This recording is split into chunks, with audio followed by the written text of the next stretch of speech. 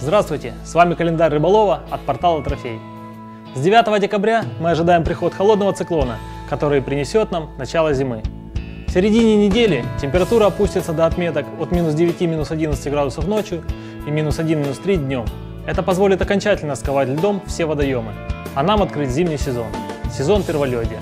Ловим окуня, судака, густеру, щуку, на блесну, зимние удочки и жерлицы. Помните, что лед в некоторых местах еще тонок, а рыба пуглива. Вода в это время очень прозрачна.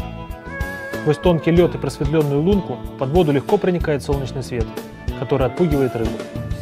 Поэтому если вы выбрали место для рыбалки, припорошенное снегом, не спешите его расчищать, чтобы лишний раз не отпугнуть трофей. Щуку и судака ловим на жерлицы и снасти для ответственного блеснения. В качестве приманки используем живца – Ловля на живца будет более продуктивна, нежели на искусственные приманки. В эту неделю судака можно поймать даже там, где по открытой воде сделать это было трудно. В этот период судак на какое-то время увеличивает свой ареал обитания, а это значит больше перемещается, активнее питается, и поймать его в это время гораздо проще. Ловить щуку по перволедию следует на привычных местах, там, где она была по свободной воде. Первые недели перволедия щука не покидает привычные ей места и держится стаей мальков в заливах и гаванях. В это время щука особенно жадно хватает предлагаемую приманку.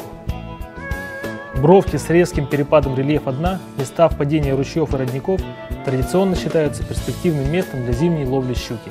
Именно там и стоит расставлять жерлицы и ждать улова.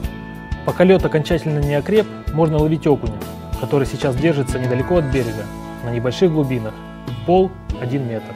Это сведет опасность провалиться под лед к минимуму. Держится он вблизи остатков подводной растительности. Ловим на мормышку. Приманка мотыль.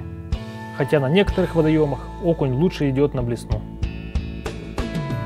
В это время на глубоких местах можно ловить густеру и плотву. Но помните, что лед недостаточно окреп и лишний раз рисковать не надо. А если вы все-таки решили, то обязательно возьмите с собой спасательные шипы, а пара сухих запасных носков никогда не помешает. Рыбалка дело неспешное и очень важно, чтобы рыболов чувствовал себя комфортно. На первый взгляд, несильные морозы и проступающее солнце обманчивы, ведь водоемы изрядно продуваются со всех сторон. Одеваемся теплее. Как говорится, лучше 7 раз потеть, чем один раз покрыться инеем. Но не забывайте проверять лед на прочность. Ловим судака и щуку на блесную жерлицами, окуня и густеру зимними удочками. Приманка, мотыль и живец. Удачи!